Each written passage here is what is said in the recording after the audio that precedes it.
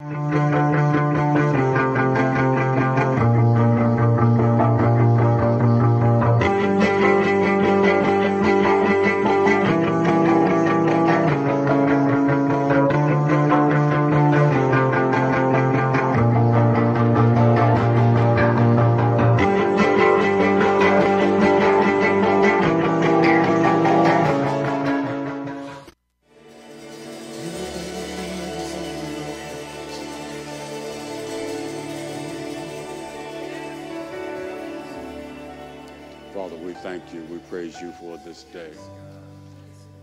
another opportunity to give your name glory.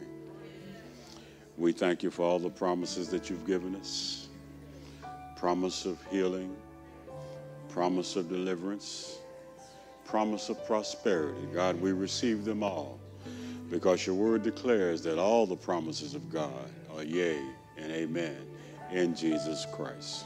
So we thank you for it. We thank you for establishing our hearts so that we can love one another. God, we thank you for that. We thank you now, God, for giving us an opportunity to show forth your glory, to let the world know that not only can we live saved, but we can also lead you into salvation. So we thank you for it. We thank you now, God, for your soon coming return. Let your kingdom come as your will is being done in this place. In Jesus' name, amen. Amen. Thank you, Lord. Hallelujah. Thank you, Lord. Wow. Wonderful morning. Wonderful morning. Hallelujah.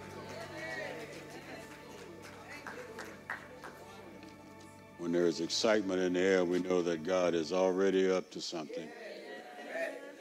We just need to catch up to what He's doing. Amen. Amen. If you have your Bibles this morning, you go to Second Peter. We were there last week. Almost got through a portion of what we needed to do. Second Peter chapter 1. Verse 5 says, But also for this very reason, and that's what you see between verses 1 and 4, he says, Giving all diligence, add to your virtue, uh, to your faith, virtue, to virtue, knowledge, to knowledge, self control, to self control, perseverance, and perseverance, godliness, to godliness, brotherly kindness, and to brotherly kindness, love. And then he goes on to say, For if these things are yours and abound, you will neither uh, you need, neither be barren nor unfruitful in the knowledge of our Lord Jesus Christ. I want to add one more verse from last week. For he who lacks these things is short sighted, even to blindness, and has forgotten that he was cleansed from his old sins. Amen.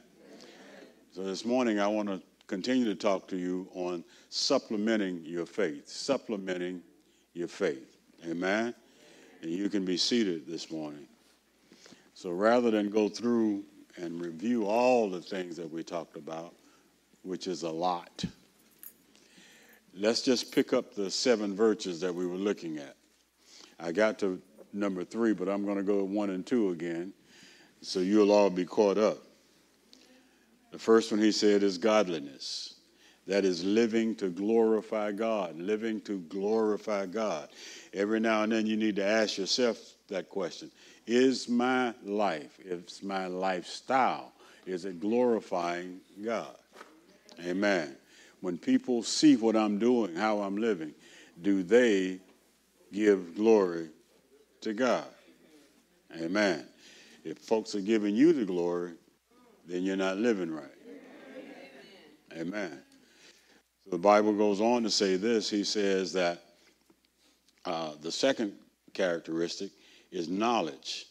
And the Bible says that is responding to divine revelation. Now, just knowing stuff doesn't make you knowledgeable.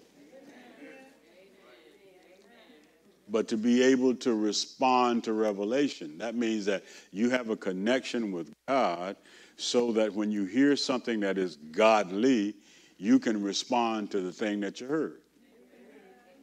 Not everybody is in position to do that. That's why people will receive knowledge and then will apply it to their own edification rather than building up the kingdom. Amen. The Bible says that it does not come from intellectual pursuits, but spiritual knowledge comes through the Holy Spirit. If you don't have the Holy Spirit, then you don't have knowledge. The Bible says that Jesus Christ is the truth. And the truth is the only thing that will make you free. Amen. And then the third one, we think we stop right here, but self control. Self control. We say that is resisting sinful desires. Now, you're going to need this one. hmm Anywhere from wandering eyes to a scrumptious dinner table.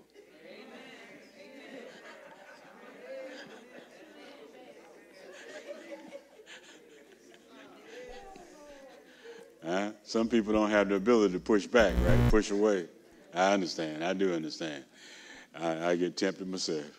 Amen.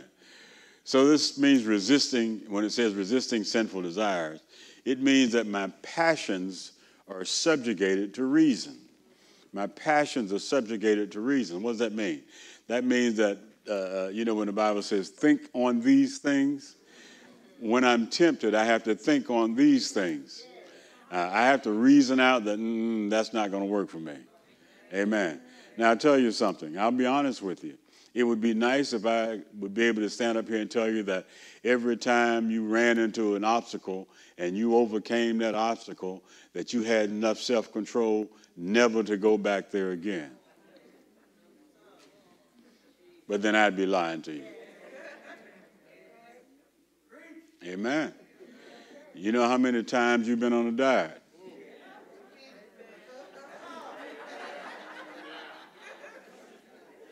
You started out losing five pounds. You done lost that five pounds so many times, now you got to lose 25 to get the five back.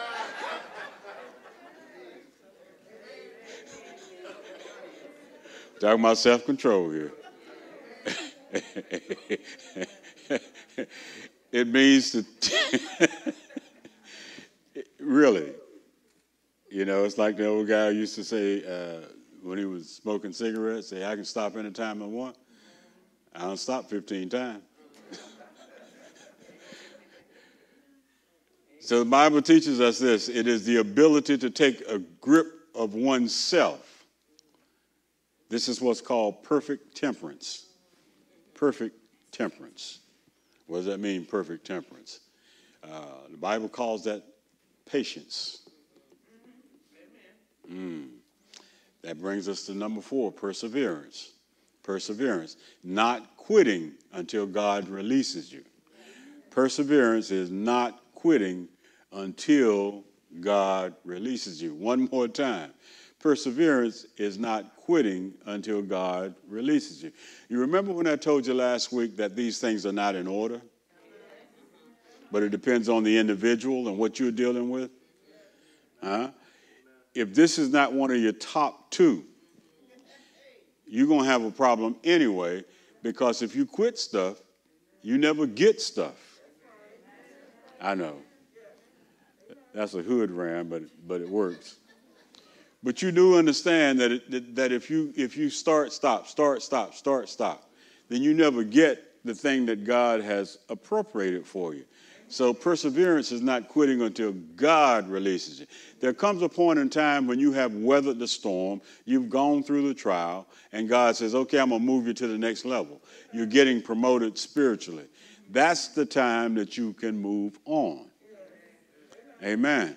But everybody knows, everybody knows, I think everybody knows, you can't leave until you have a Replacement. Yeah, y'all scared to say it. No, if you haven't properly trained someone to fill your spot, you'll be there forever.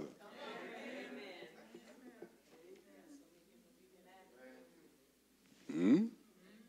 No, seriously. If you have not trained your successor, that means you have to stay there until you die. Since that's not my message, I'm going to move away from that uh, a little bit. One of the things that he says uh, uh, with, with, perseverance is uh, it's a constancy or steadfast endurance under adversity. Amen. Under what? If it's easy, listen now. If it's easy, he ain't God. if there's no test attached to the task, that's not God. Otherwise, you would never have a testimony.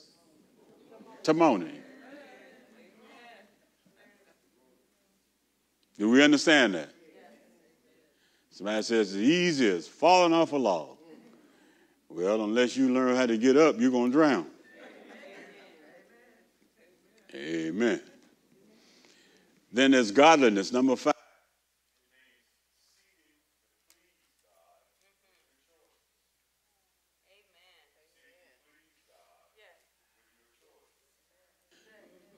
All right. All right, I'm back. Okay. I had to beat myself in the back to get started again, huh? I heard one man say they, they, they charge you for everything now. You know, how they charge you for water. So next thing you know, that everybody will be charged for air. So you'll be walking along, somebody'll be talking to you, and all of a sudden go, Say, what's wrong with him? He didn't pay his air bill.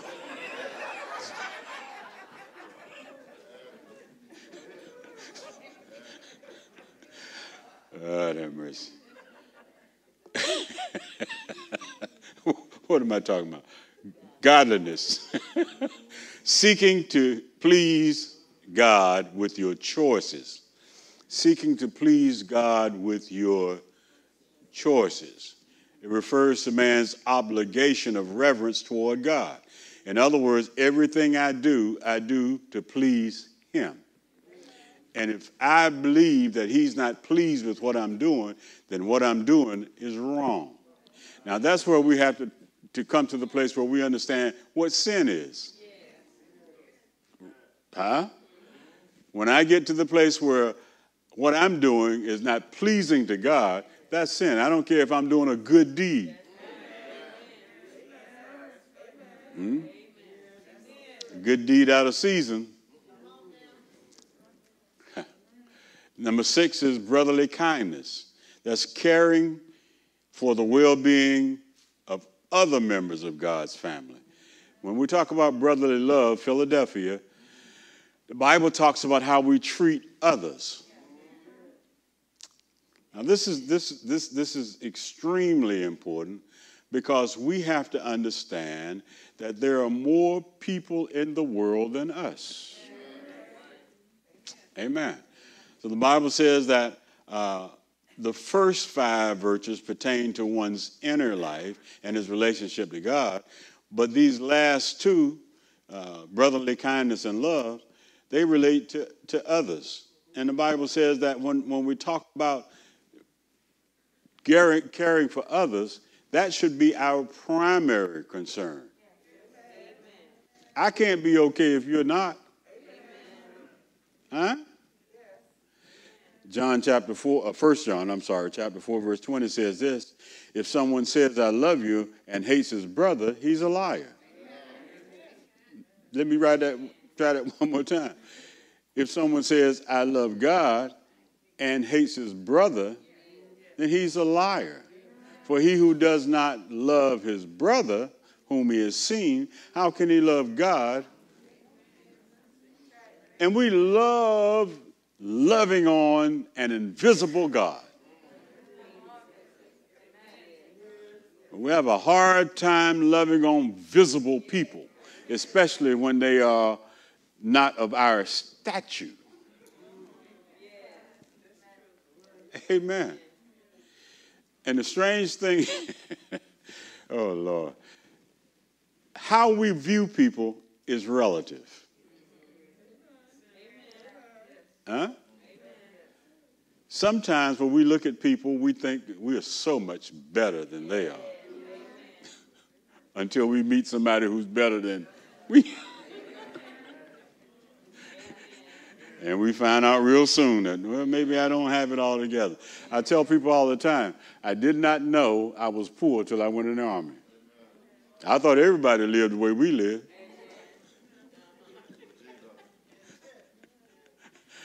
I was talking, I mean, you know, after you get out of basic training, you know, people be talking about where they live and what they do. And somebody said something about their room. I said, You got a room?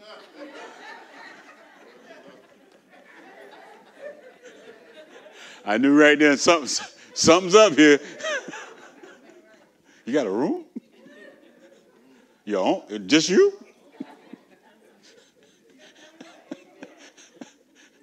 and then number seven, y'all. The Bible says love.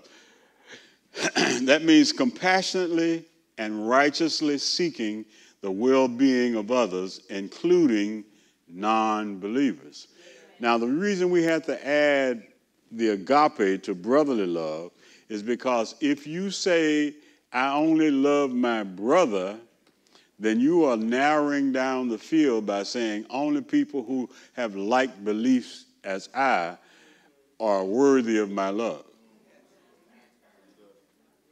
But you must learn how to love unbelievers so that they can become believers. Amen. The Bible says this is the highest type of love. It's a gift of God. Nobody can love with agape unless they have the Holy Spirit. If Christ is not in you, you can't show forth the love of Christ. Amen. That means you have what's called a temporary love. Amen. It works as long as everything is working for you. But Romans 5 and 5 says this kind of love is shed abroad in our heart by the Holy Spirit. Amen. So, the Bible says then that uh, this agape love is desiring the highest good for others. These qualities, we, this is how we got the topic, act like vitamin supplements. When you look at the seven virtues, they are like supplementing uh, the things that we need to grow in faith. Now, if you don't have these things, it becomes a problem. Amen. But let's look at what scripture says.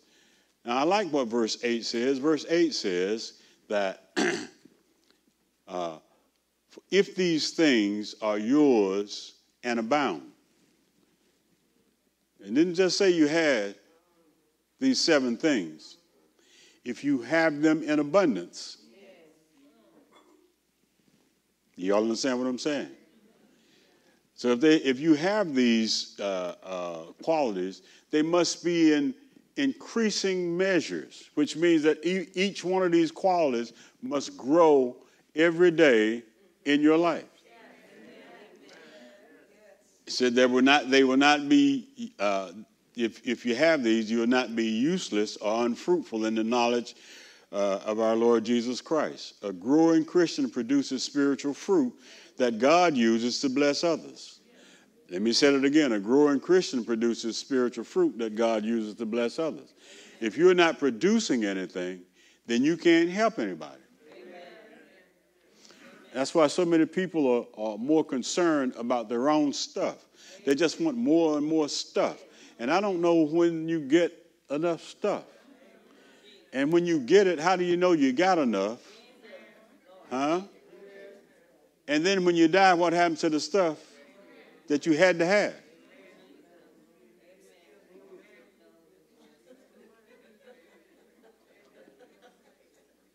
Isn't that amazing? you work your whole life with this one thing in mind. And then you get it, and you die. Now, let me tell you what your children going to do with it.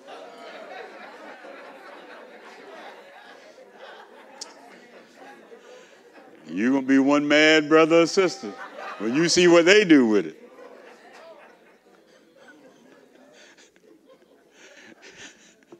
they don't want to know the history. They don't want to know about the hard work. You know what they want to know? How much is this worth?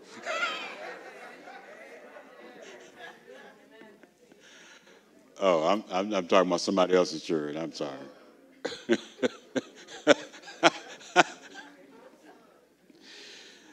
That's why the certain now, never mind, I'm ready to go someplace. I don't need to go there. but you know, some of us have reached that age where you say, you know what, I'm I'm gonna enjoy some stuff. I'm, I'm gonna have a little fun here. Let me go on. Stop laughing. Okay. Now, these qualities must be produced by the Holy Spirit. If they're not produced by the Holy Spirit, then they won't benefit anybody but you.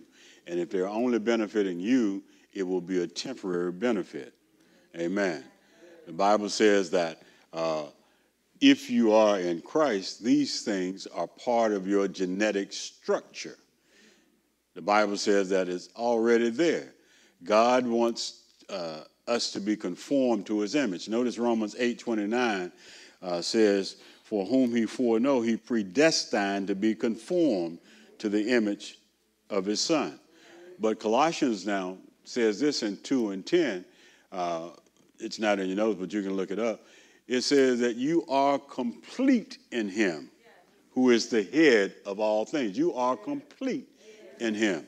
Now, what does that mean? That means that what when, when Peter writes here in the uh, beginning of this, he says, To those who have obtained like precious faith with us. That's the first clue. And then look at verse 3, he says, As his divine power has given to us all things that pertain to life and godliness. But you only get those how? The Bible says, through the knowledge of him who called us. Amen. Now, I'll talk about who called you next week. But you can ponder that question who called you? Amen. Uh, I sure want to get there, but I'm going to go on. Now, the one thing that I want you to have in mind is this the Bible says, uh, as the knowledge of Christ is reproduced in us, the process that God takes us through does not destroy our own personality. Mm-mm. Listen to me. There's something distinctive about you that is different from every other human being on the face of the earth, including identical twins. Are you listening to me? There's something different. God has given you a personality. That's a distinctiveness that nobody else has that should not change because you grow to be like Christ. What the Bible says is that if you are part of a family, people know that you're part of that family. People tell me all the time, I look like my daddy, but I don't have his personality. So when people see me, they say, oh, he's in that family. But I'm not him. I don't do what he did the way he did what he did. So, what am I saying to you? That when we become a part of the family of God, the Bible says that we have our own distinct personality that you shouldn't change just because you get saved. People should look at your character and say, that's a Christian. I know he's a part of Christ's family, but you shouldn't try to look like Jesus. What am I saying? Don't be an imitation. Don't try to be like, you know, Pastor P.O. You can't be like me. Amen. I listen, you don't know what I went through to be me. And you wouldn't like going through what I went through to become me. A- amen. Uh, come on now. Y'all don't know what I'm talking about. My life, my experience is, is distinctly mine. Which means that every test and trial that God put me through was for me so that I could become what He wanted me to be. Amen. Now, if I try to be like my favorite preacher or, or somebody on TV, then what I do is I destroy what God has created. You listen, you can you can destroy the gift of God that's in you by trying to be somebody else. Hmm? You can't get in front of the mirror and try to practice your preaching. Come on. Because now that's not you preaching. That's whoever it is you're trying to imitate. And see, Christians have this thing that when we get saved, all of a sudden we change. Oh, Lord, I got to get past this. When we get saved, all of a sudden we got our head in the air and we are so, you know, we don't laugh anymore. Somebody, you know, somebody tells you a joke.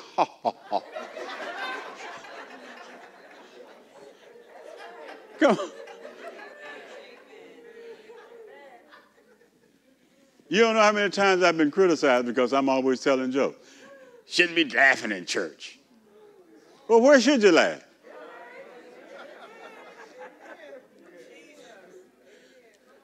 You come in with your little sourpuss face on.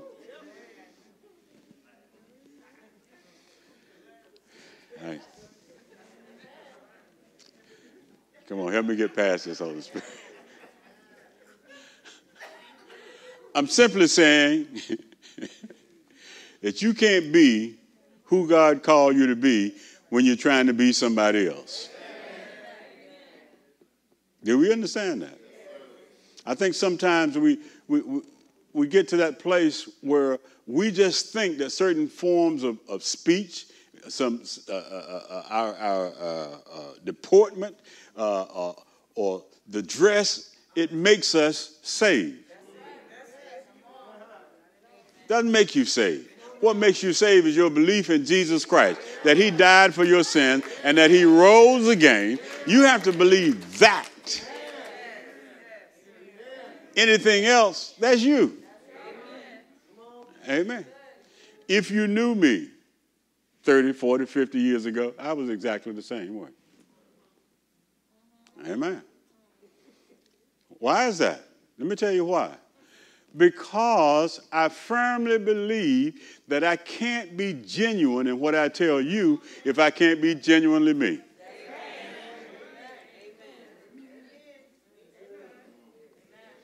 I don't know how to dress it up. I'm not good at that because you won't get it. Most of my references are going to be about the hood because I know about the hood.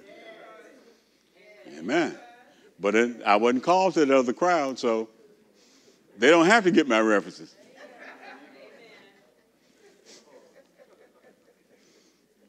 Y'all know what I'm talking about. a believer who does not progress in these seven areas is ineffective. The Bible says that word ineffective means idle or useless. He's unproductive. That means unfruitful. And, and that means that he doesn't grow in his knowledge of who Christ is. That's why 2 Timothy says this in chapter 3, uh, verse 7, that you're ever learning and never coming into a knowledge of Jesus Christ. What does that mean? That means you know some stuff, but the stuff you know is about Christ, but you don't know Christ personally. And, and the reason I say that is because you don't know, well, know him well enough for him to have an effect on your life. Hmm? Can I give you a quick example? It's like going to church. Huh? What does that mean? If you say you love the Lord, you don't just go to church. Come on. You see going to church as an obligation of being saved. Okay, I'm messing you up now, right? Because there's no way I can go all week with all the goodness of the Lord. Come on. I spent seven days being blessed. But I can't take two hours to come in and tell him thank you.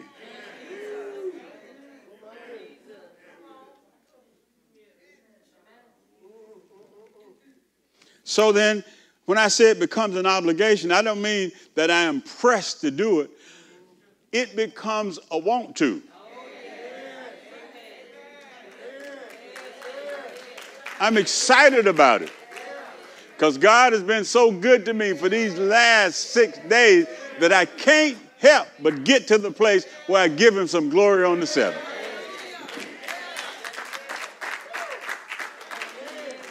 Pastor, you don't know what I had, what kind of night I had. I don't care.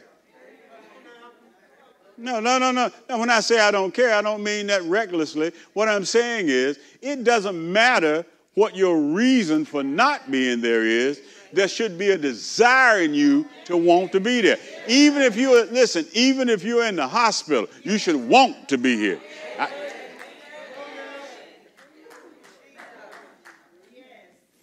As a matter of fact, if I was in the hospital on Sunday morning, I would certainly want to be here.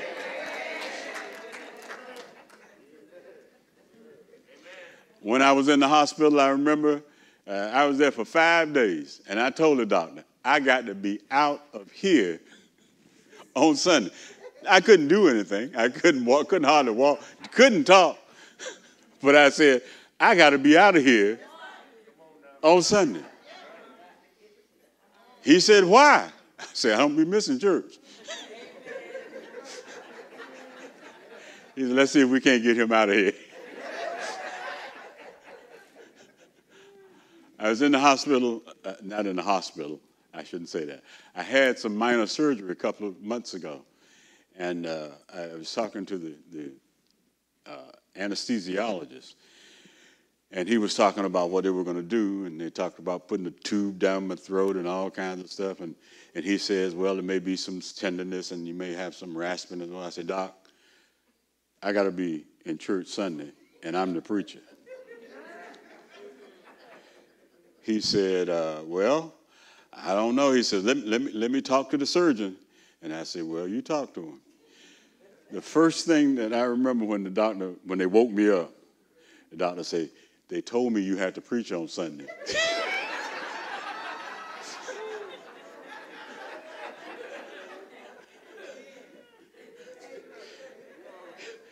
and that was on, I think, Thursday, wasn't it? It was on Thursday. Yeah, it was on a Thursday. I said, okay. And see, y'all don't even know when I had the surgery. That's right, because I made sure. I'm here on, third, on, on, on Sunday. Amen. I'm not saying, and I'm not saying that, that, that everybody has to be zealous about that. What I'm saying is, that's me. That's me. That's me. Has absolutely nothing to do with you. But I know that these seven virtues are important, so I try to build on them so that when it comes to the time that I need to be able to do what God has called me to do, I want to be there. I want to.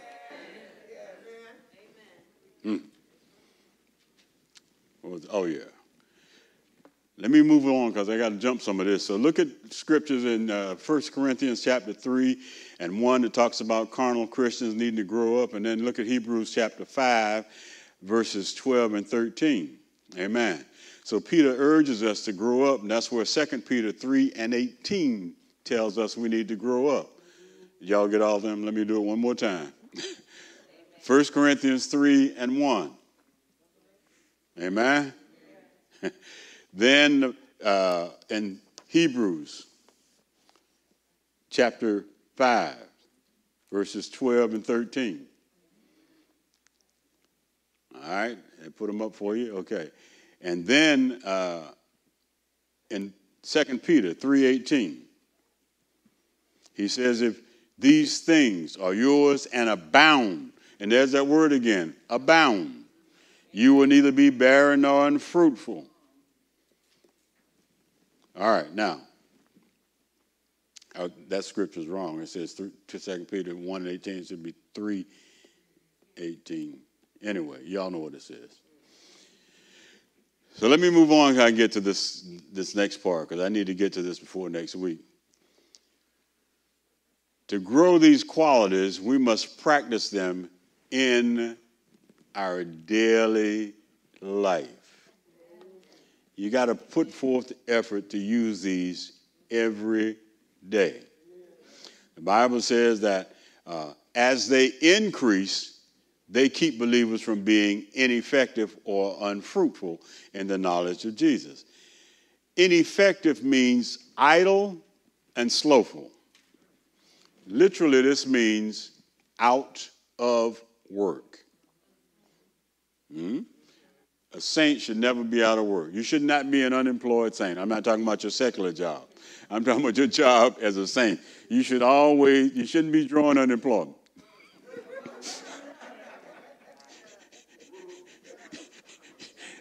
and again, I'm talking about your calling. You should be working constantly. The Bible says, see, somebody going to take that out of context. This is the parallel to, to James 2.20 when it says, faith without works is dead. In other words, if you're not exercising any faith, you don't have no job in the kingdom. Are you understanding this? Unfruitful means barren or unproductive. Barren or unproductive. Now, when the Bible says you're a, a, a life, uh, when you're barren or unproductive, it means that your life is crowded with pleasures and cure, uh, uh, cures, cares. And the reason that your life is, is, is so full of stuff is because you're so busy doing stuff. Amen. The Bible says in Matthew chapter 13, verse 22, it says, Now those who receive the seed among the thorns is he who hears the word, and the cares of this world and deceitfulness of riches choke the word, and he becomes what? Unfruitful. Listen, you can work so hard that you work yourself right out of Christ.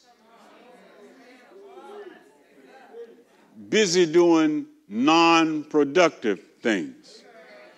Amen. That's why when I hear saints say, Well, I, I got these bills, I got to get a second job, so I won't be in church. No, no, no, no. I tell you, I, I, I, mm, no, no, just no. because what you're doing now is you're cutting off the very mechanism that's necessary to get you out of debt. Do you understand that? Yes, I know you have to have a job. Everybody ought to work.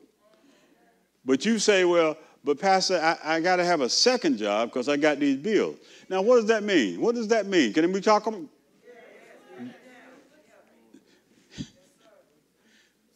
Here I go being me again, right?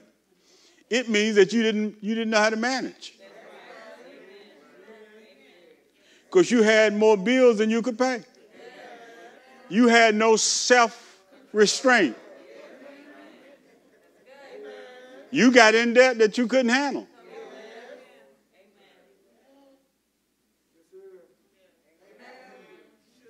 See, every now and then you have to have, you know, some common sense. If I bought a car, lost my job, and I found another job, but I now could not pay for the car that I had, I'm getting rid of the car. I'm not going to take a second job to keep a car that I can't afford.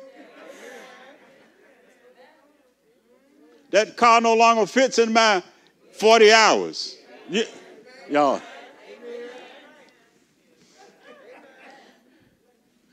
There are two times in your life, listen now, I'm going to say this and I got to move on. Two times in your life you can be debt free.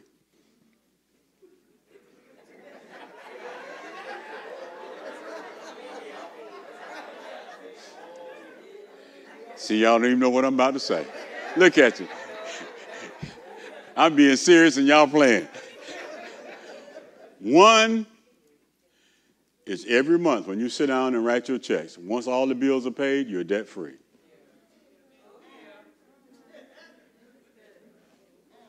Am I right about it? You're all trying to figure it out. No, when I pay that, la- write that last check, I don't know anybody anything till next month. Now, listen, listen, no, no, no. I am debt free because if somewhere between, you know, that, that fifth of the month I write that last check, and the first of the next month I die, I, ain't, I don't know about nothing. The second time you're debt free is when all your, your bills are paid in full. That means you don't, you don't have any installments. Listen to me. You don't ever reach that level. You're going to pay the gas company, electric company. You're going to pay somebody every month. Okay? But if you pay them on time, you're debt free. All right. One more thing you don't have to worry about, see? No, no, see. Okay, I got, I got six minutes. I need to do this, all right?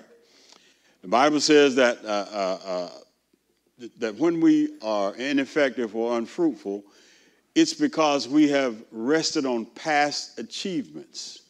You know how we do that? We always talk about what the Lord did in our life. Very seldom do we talk about what the Lord is doing. We always talk about what He did. Amen? The Bible teaches us that our faith must go beyond what we just believe.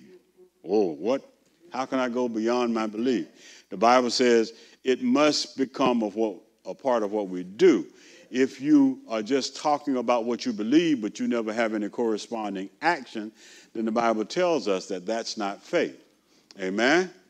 So, uh, salvation does not depend on positive character traits that we just talked about uh, and good works, but it does depend, I mean, it does produce in us those characters and qualities.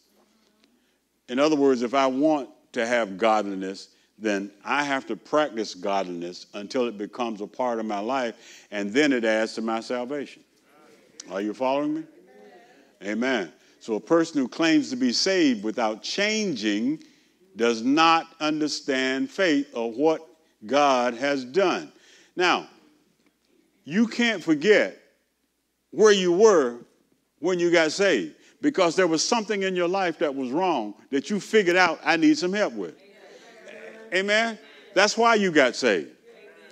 Now, the only way that you can go back to sinning is you forgot what you were doing when you got saved.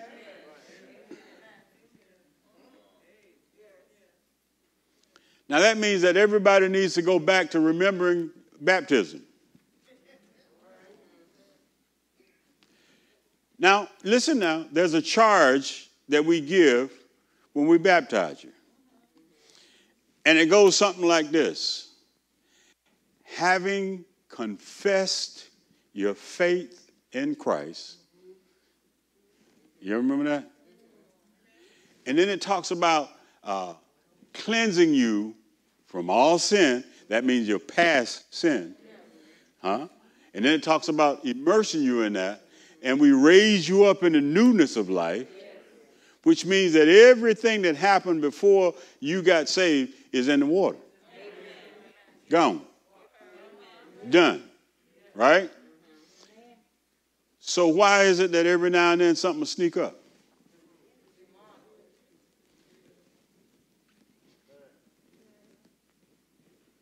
Well,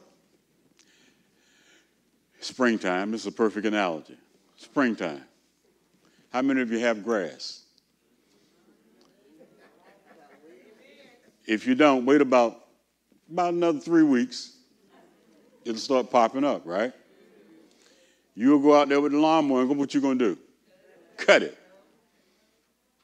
Guess what's going to happen next week? It's coming back. Now, then come around November, December, what happens to that grass? That's what we say it died, but it don't.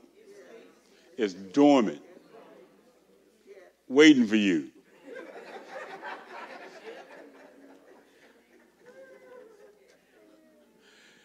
and see, there's the seed is in the ground. So the grass has a, a mind of its own. It just keeps coming back. The seed is in the ground. Sin is in man. And no matter how we try to eradicate it, it just keeps popping its head up. So every time we had to do the whack a mole thing, every time it pops a head up, we cut it off. Somebody say, Well, how do you cut it all off? Well, you got to go to heaven. Now,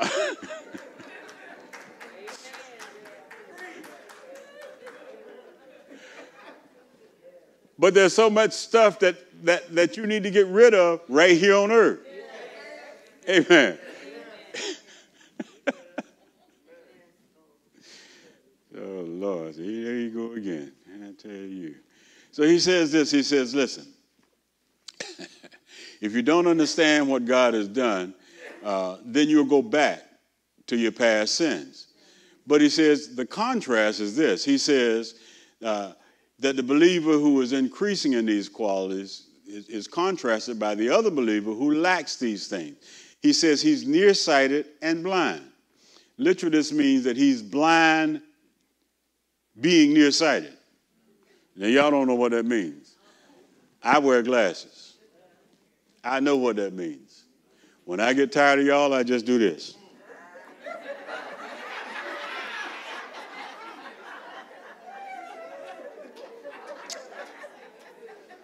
Somebody said, what that mean? I can't see who out.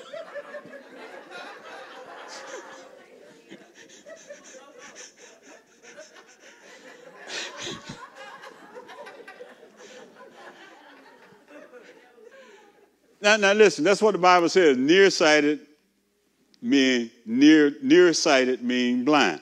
You have to see it up close.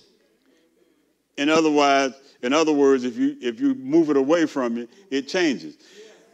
What we do is we see things according to the world system. And What does that mean? It means up close. Somebody say up close? No, no, no. It's up close. It's personal. Heaven is way up yonder.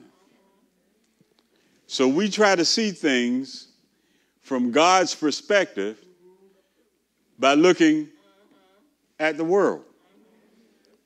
And sometimes that messes us up because the world is the opposite of what we should be imitating. Even the good people aren't good enough for God. That's why He wants them saved.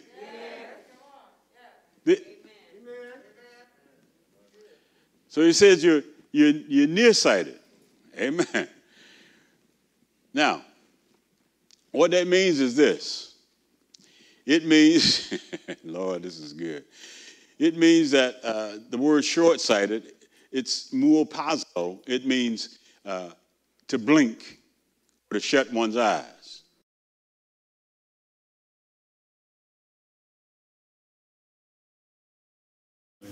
Closing their in the light of Christ, mm. causing spiritual blindness. Now, this happens quite frequently.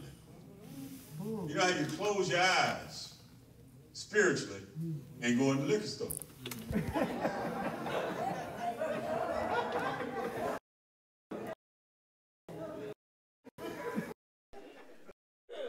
You get ready to go to the club.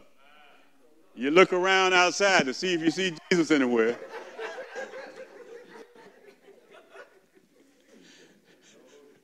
you don't see it, you close your eyes and go in. You, you understand what I'm saying? The Bible we close our eyes to things we don't want to see. If God is showing us something that we don't want to see, in order to keep from having to be obedient to the thing He's showing us, we just blink. Whew, boy, that went away. Thank God.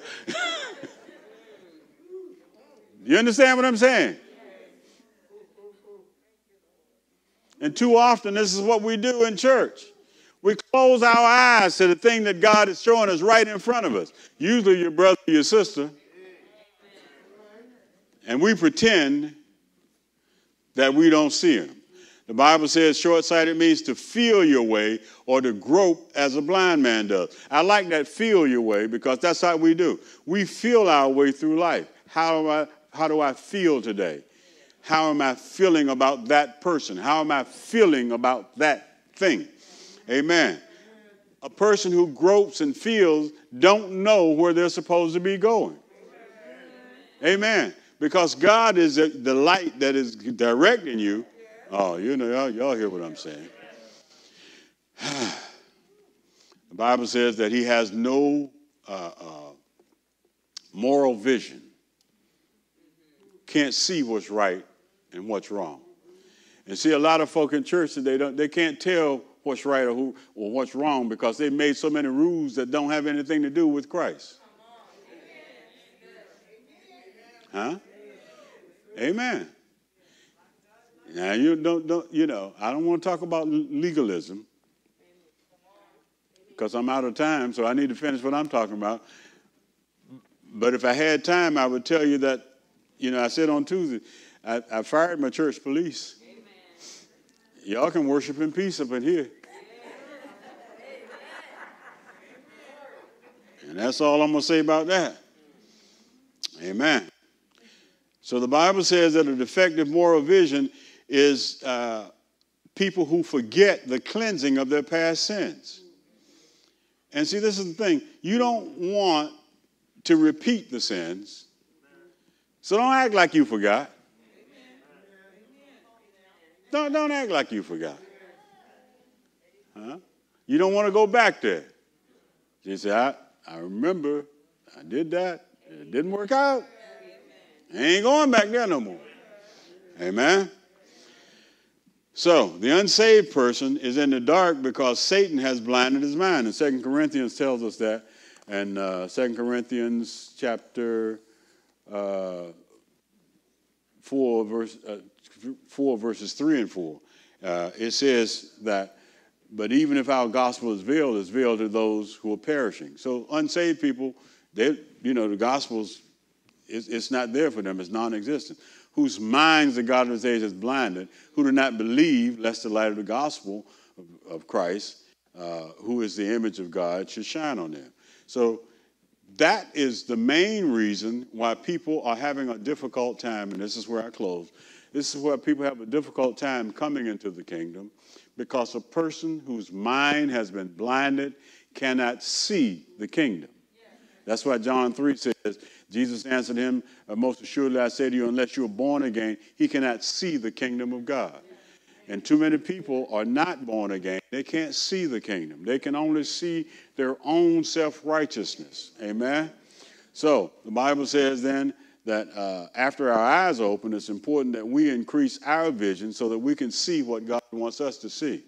And this is the problem we have is that we don't see what God wants us to see. We want to see what we think God sees. That's why we want to be religious. Hmm? We go out and we do stuff. We do, we, we, we do uh, uh, what I call comfortable evangelism. Find somebody that you can talk to that's, you know, easy going. And then slip something in about Christ. Amen. But we go home to people in our own house that's unsaved. That's why you had to slip it in when you're out of the house because you're not comfortable with where you are in the house. Y'all with me? Revelations 3:17. I'm through with this. It says, uh, talking about the church of Laodicea, uh, Laodicea. And it says this it says, Because you say, I'm rich, have become wealthy, and have need of nothing. Huh? Yeah, that sounds like some folk I know. And do not know that they are wretched, miserable, poor, blind, and naked.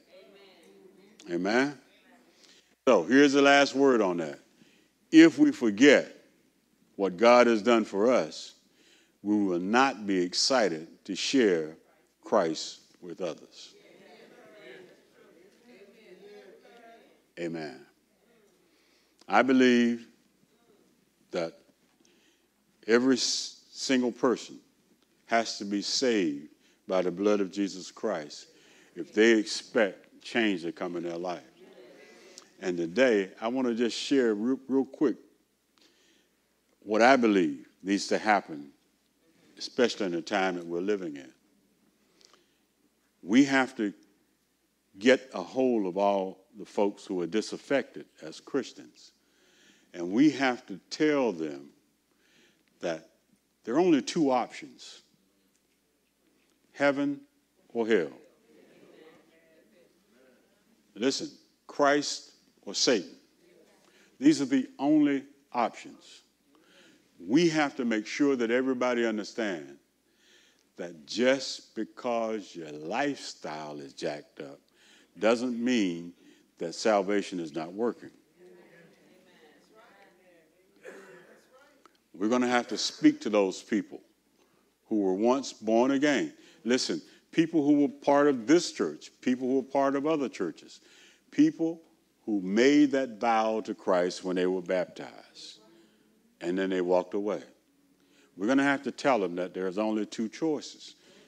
They're going to have to make a choice. Now, here's what I say, and I told the folks last night I'm selling fire insurance.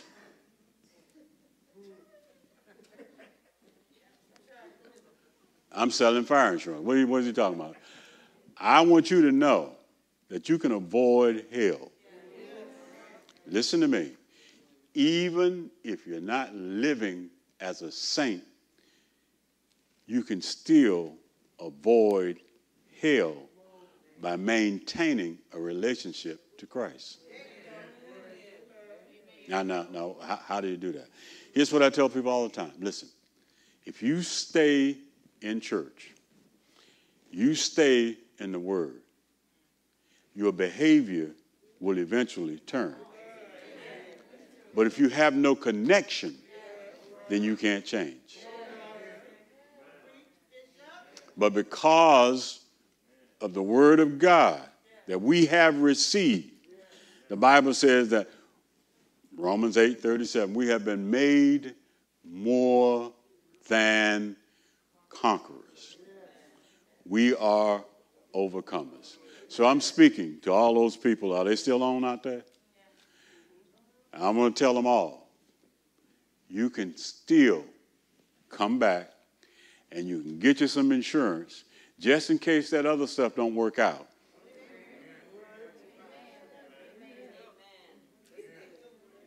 Just in case you can come back to Christ. Amen? Amen. Come on, stand up on your feet.